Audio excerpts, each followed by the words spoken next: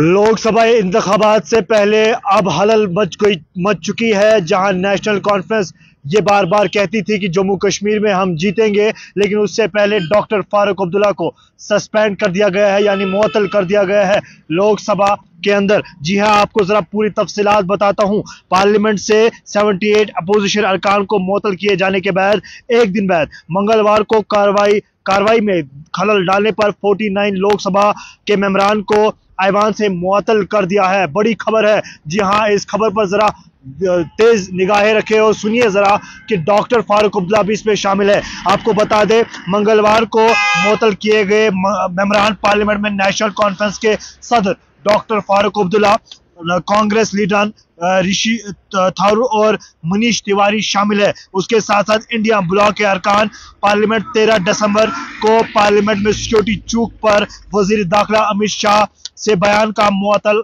बयान मुतालबा कर रही है। लेकिन आपको बता दें कि आज इंडिया अलायंस की भी एक बड़ी बैठक थी और इस बैठक में पीडीपी की सदर महबा मुफ्ती भी मौजूद थी। नेशनल कॉन्फ्रेंस के सदर डॉक्टर फारूक अब्दुल्ला भी मौजूद थे और बैठक जो ही चल रही थी तो उसके बाद पीछे से एक बड़ा ऑर्डर आया और ऑर्डर ये आया कि जनाब, अब डॉक्टर फारूक अब्दुल्ला पार्लियामेंट के अंदर नहीं होंगे, यानी कि लोकसभा के अंदर नहीं होंगे, बल्कि उन्हें मुतल कर दिया गया है। क्योंकि जहाँ खलल कुछ दिन कबल पार्लियामेंट के अंदर हुई उस खलल के बाद जहाँ सिक्योरिटी की ये भी चूक की गई और साथ साथ वज़ीर अजम हिंद नरेंद्र मोदी का ये भी मानना है कि अपोजिशन ने बड़े बड़े सवाल भी उठाए थे, लेकिन उस सवाल को हमने देखा कि जनाब ये सवाल उठाए क्यों? क्योंकि पार्लियामेंट हर किसी का है, चाहे वो अपोजिशन का है या मौजूदा सरकार का है, लेकिन ऐसे सवाल उठाने पर क्यों ऐसा कुछ हुआ? लेकिन अब डॉक्टर फारूक अब्दुल्ला जहाँ इस वक्त इंडिया अलायंस के मीटिंग में मौजूद है तो उस, जो ही खबर उस तक पहुँची